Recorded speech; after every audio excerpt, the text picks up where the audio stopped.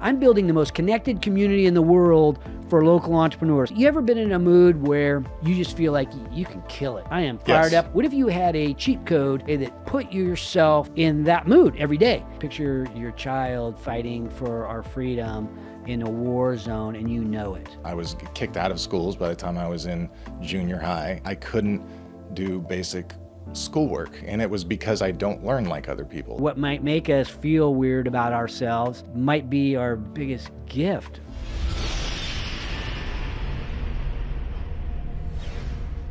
How do you handle fear, uncertainty, doubt, like you mentioned? The one thing that I've been lucky enough to do is put people in my life that make me feel a little bit less afraid. What kind of people? Like my wife, like my son, he was shot in Afghanistan. So picture your child fighting for our freedom in a war zone and you know it, right? He, your kid is in a war zone and you know that he is in a war zone. Well, who are you? You're afraid, right? You're afraid for your kid, Yeah. man. Your kid gets it. My my son got in a fight in high school, and um, you know that you know that kind of stresses out a parent, you know, because oh, my son's fighting, right? Like a fist fight. Um, you know, your kids go to the first dance, and it's like, oh shoot, you're you're worried about them. You know, hopefully they don't, you know, get into. Hopefully have a good time. Hopefully they don't get into too much, you know, mischief that's uh, unhelpful. Um, we as parents, we're we're fearful at times about our kids.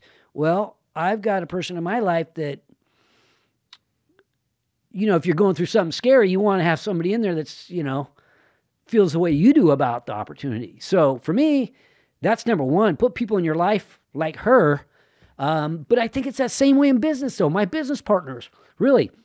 I built my business with my brother. I get all choked up. I built my business partner, or uh, built my businesses originally with my brother. We had that. My current business partners, we've got that, right? The, we've got each other's back in a way that, like, man, I'm not going through it alone. So if I- if I fail, if it doesn't go right, well, at least I got you know I'm going down with uh, people that are you know, love. fighting. Yeah, yeah. So to me, that's where it starts. If if there's a, a you know one central theme to what can help you deal with your uncertainties, it's have those people in your life that make you feel a little bit less afraid. Hmm, I love that. Yeah. What about spirituality? What's your view on that? key, important.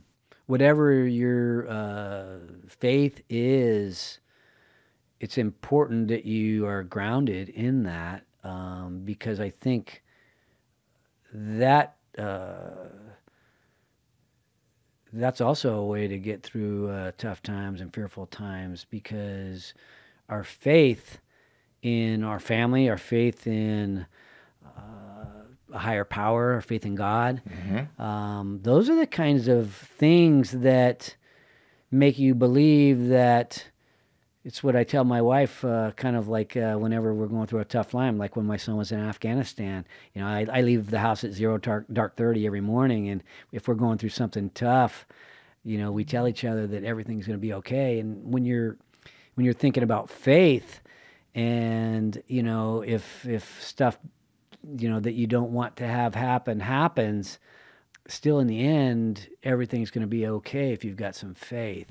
I believe that and i feel like that's a really grounding feeling for others as well. I know that it grounds many of my closest relationships. We, we all feel that way. And uh, I, I think it's that shared um, belief, if you will, and it may not be the same uh, religion necessarily, but that same way of feeling that no matter what, everything's going to be okay. Those kind of feelings can bring people together if we're willing to talk about it.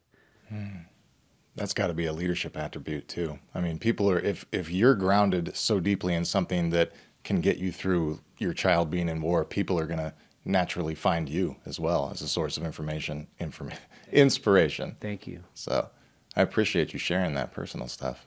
What advice do you have for young guys in their 20s who want to do what you've done? First step. have a cheat code. You definitely need a, a cheat code in life. Um, so you know, again, t- thinking about sports, I was I was uh, not the best athlete. My son wasn't the best athlete, but we had vi- visions of grandeur, right? A lot of a lot of kids do. A lot of, and then as that stuff starts um, sort of fading away, as you get out, you realize you're not going to go to the pros. Uh, you know, you sort of have to regroup a little bit, um, and so I, I think though that whether you want to make uh, you know the starting uh, baseball team in high school or football team in high school, or you want to make it to the pros, um, or you want to uh, you know do something great in your life, if you've got the big aspiration, you've got to develop a cheat code and recognizing that we all need some sort of advantage. And so my advantage is I call it 315 the moment of truth, right? I get up at 315 every morning. Do you really? I get up when everybody else is asleep and I started that 25 years ago or so in the middle of my you know my entrepreneurial business we had you know business all over the country and i needed to work out before uh, you know before our you know our east coast, East Coast guys get to hours, yeah. work yeah. so you know i'm going to get up and get my workout in before everybody um, before everybody you know so i can get to work and be there when everybody else gets there or before when everybody gets there and so i ended up you know starting to get up really early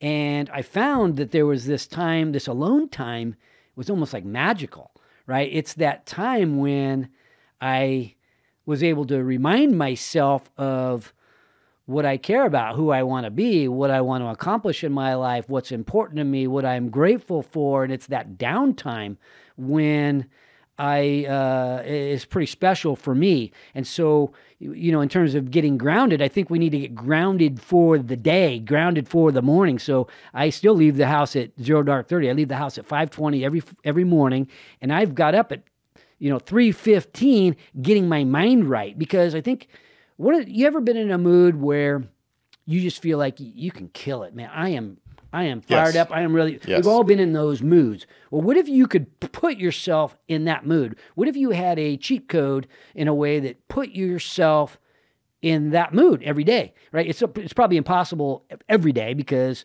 uh, you stayed up, went to the Kings game, I stayed out too late, didn't get enough sleep, having trouble getting in the mood. Right? But if you can get your life right, you can cut all the different things out or back in your life that allow you That prevent to that mood. to get in, yeah, get enough sleep to get up early. Okay, I've kind of got those things kind of dialed. Now I'm up early to get myself in that mode, right? Hmm. That mode that makes me remember that I can do stuff that most people would think is impossible.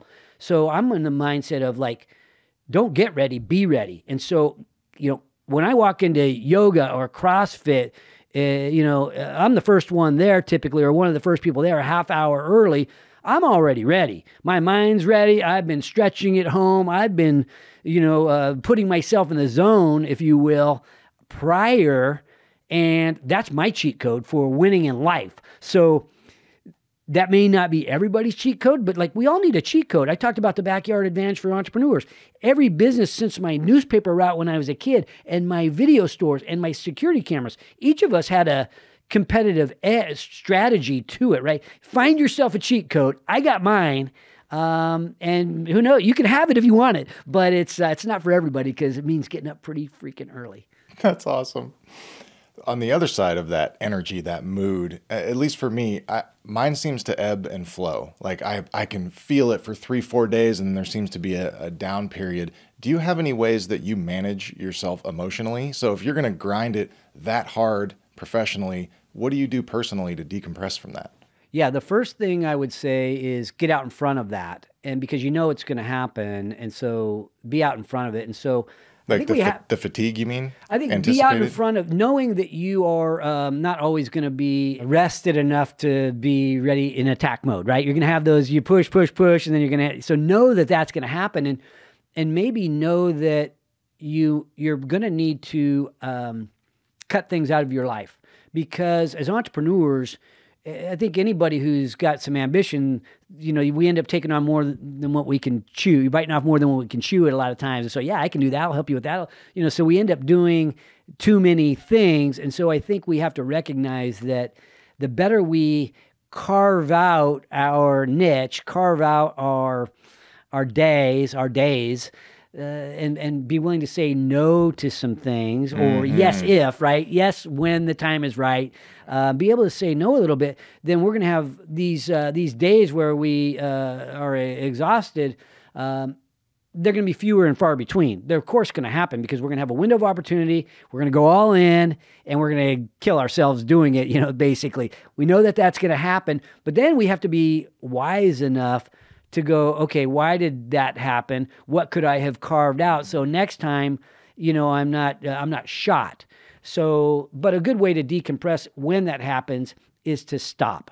So, stop all together for a minute. Maybe it's uh, for the weekend, maybe it's for the day, maybe it's for a week in Cabo. And I like, to go to unplug, stop, just unplug shut it down. whatever you- whatever it means for you Okay. it to unplug um, for me i like to go to cabo that's where my i end up getting a lot when i have downtime my creativity goes through you know it goes off the charts so enough downtime and i come back more uh, fired up and ambitious so i feel like each of us may be a little bit different in that realm but so one person's stop might mean you know uh, you know, a, a night out with your wife or Sure. something like that. So let's call a babysitter and let's go, you know, decompress a night out with the wife. So we all have, you know, for me, it's a it's a week in Cabo potentially, um, or maybe just go lay out by, you know, go ahead lay out in the sun for a while and um, listen to uh, Mm-hmm. Listen to some music or Yeah. whatever. Yeah, Led Zeppelin. yeah, exactly. So each of us are different, but I think the short answer is we got to be willing to stop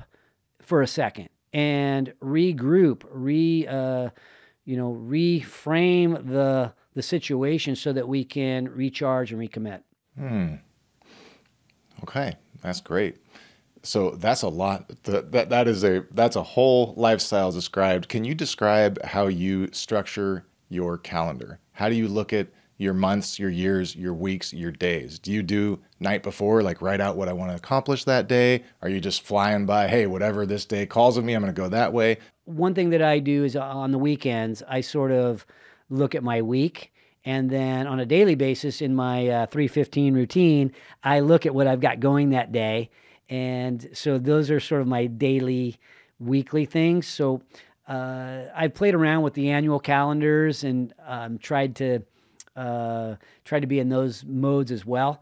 But right now, I'm working sort of off the uh, weekly daily thing, and it's working out pretty well. I set really long term goals, right? So I'm building the most magical um, place in the world outside Disneyland. That doesn't happen in you know six months or twelve months or a year, right? That's good. That's a lifetime commitment. That's an infinite approach to building a family compound. I'm building the most connected community in the world for local entrepreneurs. That's going to last me the rest of my life. I need to make inc- year over year. I need to make some incremental improvements, and there'll be some breakthroughs. I'm going to be the fittest man in Placer County when I'm 85. I've got 25 years to get there, so I need to make incremental improvements. You know, so me for me, I make I set these grandiose, sort of fantastical uh, visions, and then I sort of like chip away of, at them over the days, weeks, months, and years. I think for your podcast, sitting down with people and unpacking their cheat code, like literally get some pen and paper, start drawing it out of them. That could be really cool for people to see. Yeah, I think that's a great idea because I obviously I talked about the advantage today. I've been talking about a little bit more over the last couple years. I've always thought it, but maybe hadn't brought it out as a, a theme for my podcast or a, a theme for uh, winning necessarily, even though it comes up in conversation. Every entrepreneur I ever talk about, we want to know what your advantage, you know, what's the secret sauce, dude? Um, we all want to know that, but I, I agree with you uh, that, and I appreciate the advice on my podcast. We talked about this earlier is like coming up with more of a direction versus just stories of winning. Maybe in as a theme of those stories, what your secret sauce are. So I'm going to boomerang it to you then. What's your secret sauce? What's your uh, edge, your cheat code, your competitive advantage? So my my drive one, and then I see I see things differently. I have a learning disability, so I had to learn to use my brain different than other people, and that allows me to see angles that people don't see. I've had some corporate jobs, you know, and I would see how they train you to do it and how, what their way is, and I would see a different way to either circumvent that or shortcut that, but really it's just more efficient. And so my cheat code is seeing things that other people don't see and then having a ridiculous drive and ambition to attack that. So, can I ask a follow up question on that? yeah. Okay. So, was there a period of time in your life, maybe it was when you were a kid, um, where you, th- you you now recognize that as uh, a cheat code or an advantage or a strength. Was there a time in your life when you maybe thought the opposite? Yeah. Oh, all growing up in school. So I was in special ed classes growing up. Uh, I was kicked out of schools by the time I was in junior high. Um, I couldn't do basic schoolwork, and it was because I don't learn like other people. They wanted to sit me down and have a, have you look at a chalkboard, learn today's lesson, and then now go by yourself and do. And I just couldn't hang, and so. I grew up being told there was something wrong with me. There's something wrong with me. You got to fix this. You're bad. You go to that class, principal's office, blah, blah, blah. And so it wasn't until I had that attitude until my 30s when I realized like basically what was happening and I was bombing out of corporate because I couldn't fit the mold. They're trying to train a cookie cutter corporate guy. And so I said, well, I'm going to get fired anyway. So let me do it my way. And so I just completely pivoted and did what I thought was best and exploded, just rose up. So that was when I realized, oh, this can be an asset. I just have to find what I'm interested in and at that time, I was interested in winning. I blew my 20s off, a little too much partying, you know, so I had this like, if anybody gives me a shot, I'm going to tear the world a new one. And I did. And then there was no why after that. And so that's what, that's how I got to this yeah. place. Well, that's a good, uh, you know, kind of answer for what are you going to do with what you got. And I think a lot of times, we don't realize what we got. Our our weirdness ends up being, or what might make us feel weird about ourselves, might be our biggest gift. Our gift, or is our what makes us sort of maybe even uncomfortable, un- or uh, you know, maybe think less of ourselves at times. I was kind of a daydreamer type of guy, and we got criticized for being a daydreamer, right? Is that's like not a good attribute. Well, it turns out that's visualization. Well, you know what? Right? You never know, right? so what are you gonna do with what you got? Is uh, it's okay to tap into your weirdness or what makes you sort of special because guess what? Everybody's got those things, and if if other people are gonna you you might be complimentary to what other people are doing, or there might be other people that feel the same as you that want to join you. Hmm. I like it. Thanks for watching, you guys. If you like that great episode, check out this one. Another great one. Click click right here. Please comment, like, subscribe. It really helps these videos get more traction and we can push out more positivity. Thank you so much.